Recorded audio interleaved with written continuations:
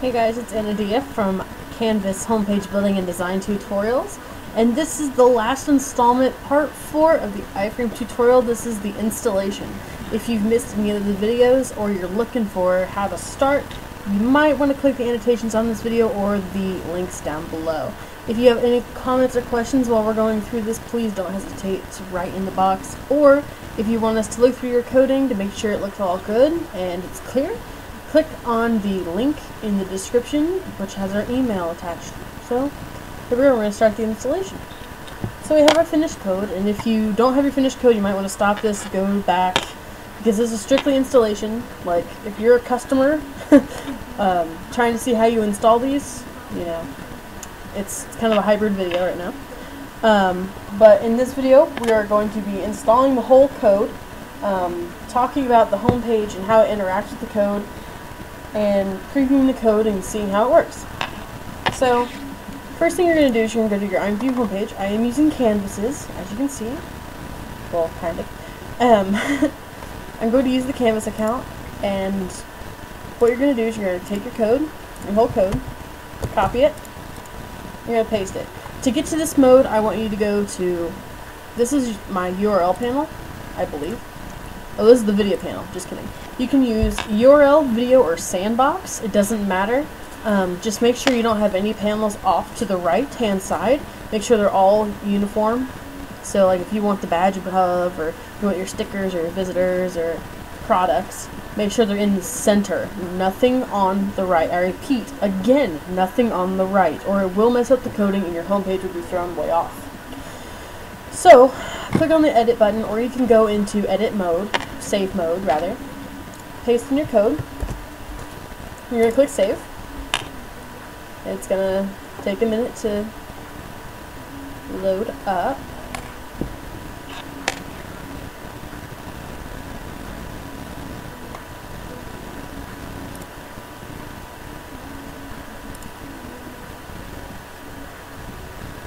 Yeah, okay. So, good lord. Sorry about that. Um, let's see here.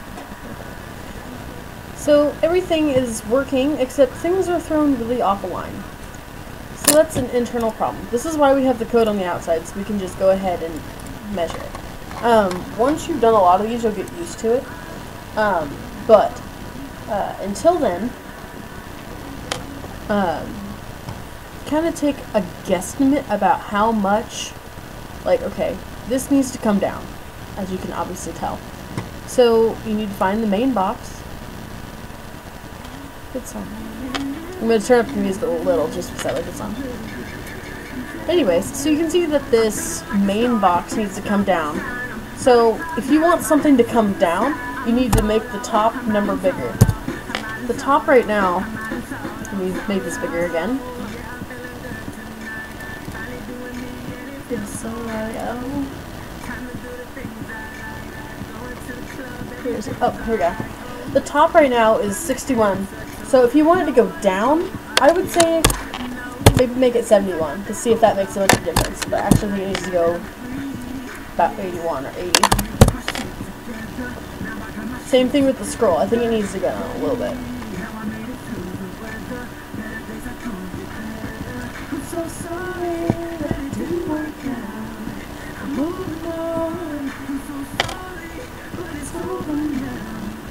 So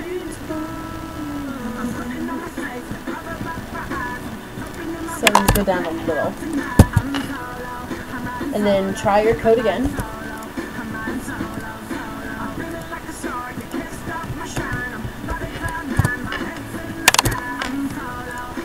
Save. It's pretty close.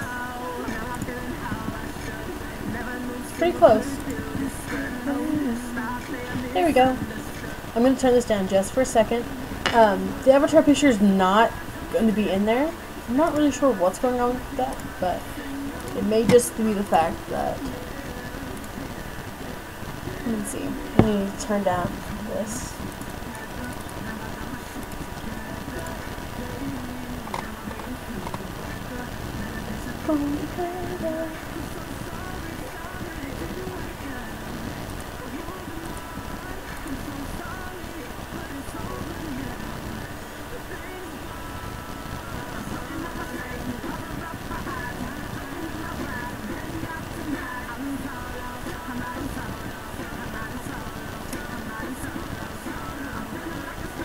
I'm actually not quite sure what's going on with this.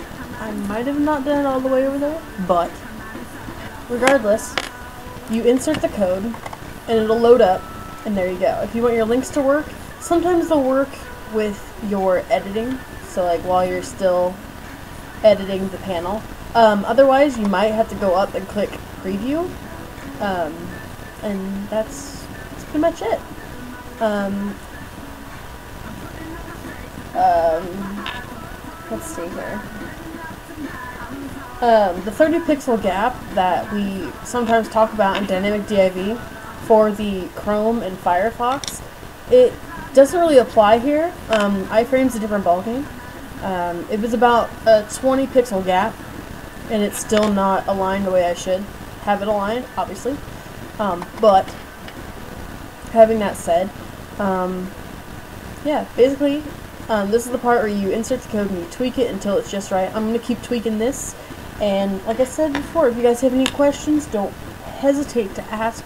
Please, we want it. We're here to help you, and it's totally for free. There's no cost. Just please email us and give us some fan mail at the very least. Thanks for watching, and I hope you understand the iframe tutorial now that it works.